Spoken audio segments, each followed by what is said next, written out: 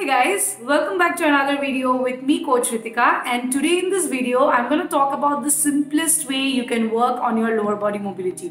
Now in a world where there are endless videos on mobility, this video is about one single movement which can take your lower body mobility to the next level so keep watching this video.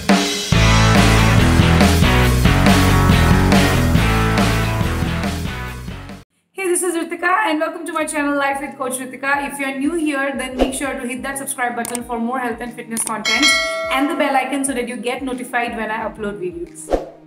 Okay guys, so coming back to the topic of the video, the one movement which is going to take your lower body mobility to the next level is the deep squat or the ass to grass squat.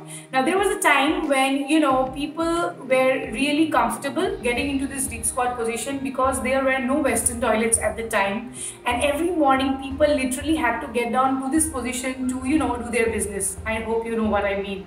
Um, but in a modern era like this, most people can't even get into this position to begin with. Forget about staying in this position. Uh, and trust me guys, if you work want to work on your lower body mobility, then this is the movement which you should be doing at least 5 minutes a day. This is very simple. You don't have to watch any videos. You can literally do it at any time of the day you want. Uh, you're doing Instagram, just get into this position. You're reading a book, get into this position. Um, and I understand that most people are not comfortable getting into this position, but don't worry. In this video, I'm going to give you tips which will help you get more and more comfortable in this position and before you know it you will be chilling in this position okay guys so tip number one is to take support of an external object if you are someone who is not comfortable getting into this position you are falling backward or else you are unable to drop your heels on the ground and your body weight is on your toes that then know that you have to take support of an external object in the beginning so I have a chair with me. You don't necessarily need a chair. You can hold on to a bed, sofa, table, whatever object you have at home which is you know sturdy enough. So just hold on to the object and try to go all the way down. Deep squat guys, okay? Get your hips as close to the ground as possible and make sure that your entire foot has to be on the ground. That means your heels, your midfoot, your toes, everything has to be in contact with the ground. Now in the beginning, your thoracic spine might not be neutral, they might be a little bit rounded, but that is normal. Our main focus here is to get comfortable in this position. So just hold on to that object and hold it for as long as you can. Uh, the goal is to do 5 minutes a day, but you do not have to do 5 minutes at a stretch. So if you are just starting out, then just go for 10 to 30 seconds and then rest and just you know keep doing it uh, throughout the day and make sure that you get 5 minutes you know in 24 hours.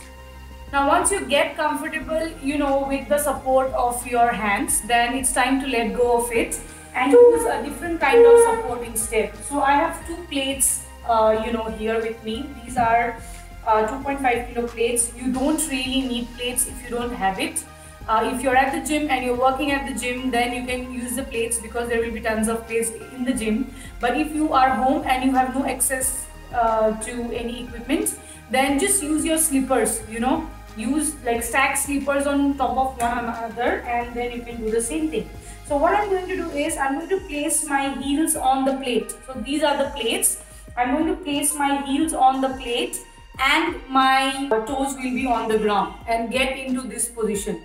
So what happens is that when you keep your heels at a slightly elevated position it becomes you know easier to hold on to the deep squat position. So again, the same thing, you know, try to get 30 to 60 seconds this time and a 5 minutes in 24 hours. Now once you are comfortable with this position as well, then comes the next thing where you will not take any support at all and work on your deep squat position. You do not really need to do 5 minutes at a go. Start with 1 or 2 minutes uh, and then keep doing whenever you can and before you know it, this position will be like really easy and comfortable for you. I can literally chill in this position and watch series. Okay, anyway, the thing is guys, remember to do this every single day. If you do it one day and then you skip 5-6 days and you do again, you know, uh, after 5-6 days, you will not see much improvement to work on your lower body mobility and to get better at it you'll have to do every single day without fail. Trust me guys, try it for a month and see how it affects your squats as well, like weighted squats. It'll be like really easy for you.